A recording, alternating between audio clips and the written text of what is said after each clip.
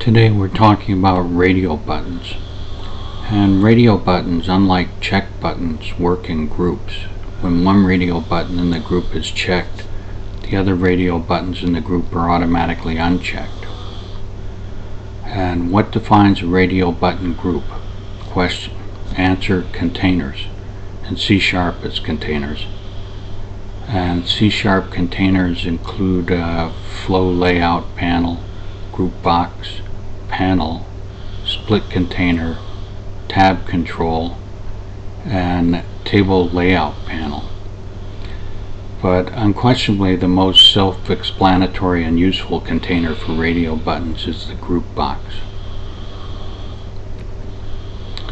So let's drag a couple radio buttons over to the the panel. Oh, that's a regular button. Here we go, radio button. We can copy that. And paste it. Line these up.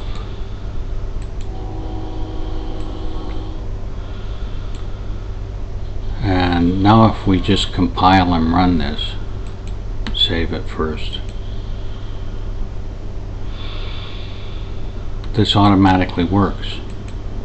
And you're saying why would this work where's the container and the answer is another container in C++ is the form itself. So if you only have three radio buttons, you can just put it in the form and it'll work. But it's much more self-explanatory if we get a uh, group box out of the container group. Drag this over and give the group box some meaningful name like uh,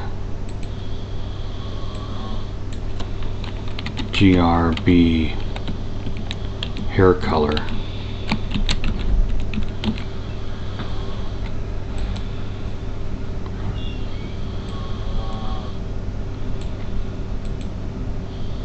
And also a title like hair color or text like hair color. And why this is so useful is you see the name the text hair color actually appears in the group box. And if we give uh, meaningful text to the radio buttons like uh, brown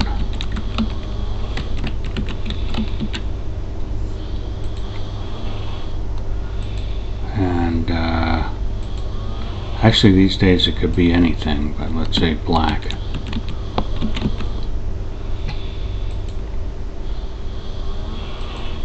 And uh, say blonde. Hate to leave out redhead.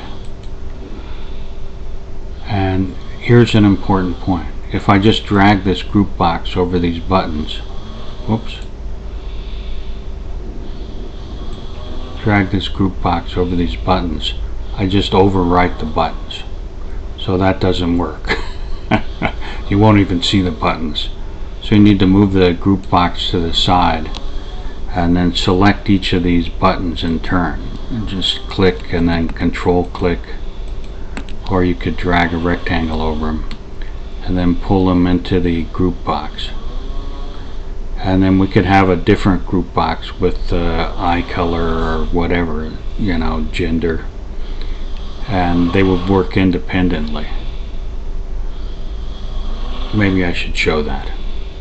Why don't I drag over another group box? And we'll call the text on this group box uh, eye color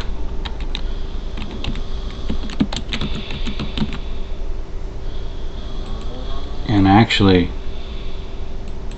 except for blonde we could use these guys. Do a select and then a shift select. Well, I guess shift select didn't work. I guess control select. And then do a copy.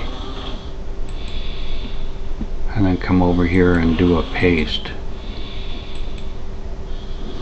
And we want to change blonde to uh, A uh,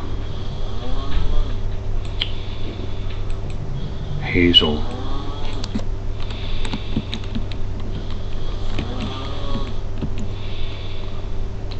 Maybe we ought to change black to blue too.